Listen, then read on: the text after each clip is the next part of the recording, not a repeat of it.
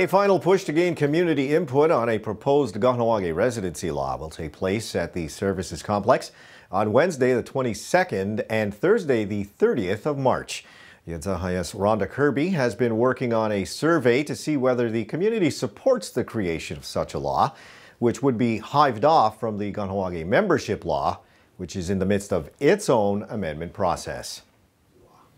Well, we're looking at our third and fourth um, kiosk that we'll be having at the uh, complex. That will be on Tuesday, March 21st, and the following week on Wednesday, March 29th, to collect uh, more surveys. So we're really encouraging uh, community members to still come out. Uh, we're really looking to uh, try and reach our goal of uh, over 200 to 300 surveys completed. Well, I think we have a fair indication of where we are going with uh, a draft residency law, considering what we, the information we've taken out of the past hearings and what we know from the uh, surveys to date. We also spoke to Kenitsénhaienhs Kirby for some follow-up on a presentation on medical cannabis made at the recent winter community meeting. The topic was front page news in both local papers.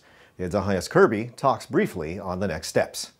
Um, we are on a fact-finding mission at this point. We are looking at possible uh, partnerships with people who already are licensed uh, providers, and we are looking at, in anticipation of uh, the federal law being passed in 2018, what would that mean for the community if recreational uh, marijuana was uh, law was passed? Kenitsénhaienhs Kahsennenhawe Sky Deer holds the membership portfolio for the MCK.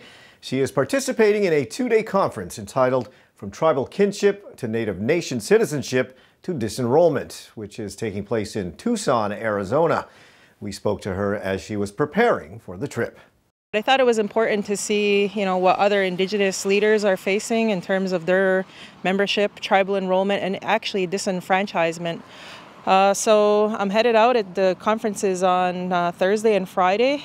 The the lineup is really interesting. As a matter of fact, um, Oren Lyons is going to be there from Onondaga. So you know, it'd be interesting to put a Iroquoian perspective on, on the uh, membership citizenship debate. And finally, the Kanien'kehá:ka Onkwawén:na Raotitióhkwa Language and Cultural Center made a major announcement this week.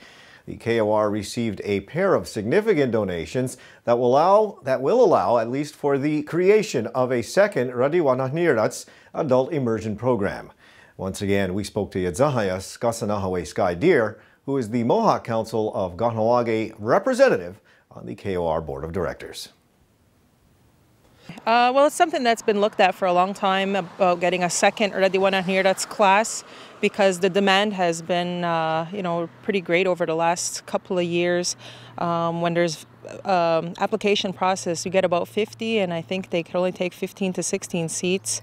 So uh, two years ago, I wrote a proposal um, to try to get funds to have this second class, and um, we were approved. The donator wants to remain anonymous, and it was 50,000 uh, US US dollars over five years, but and that was to be paid annually. So I asked if uh, Mohawk Online would supplement to to assist, so that um, you know the budget that we prepared to run the second class would run smoothly, and uh, everything got approved. So the announcement was made last week, and we're we're really excited about the future of the program.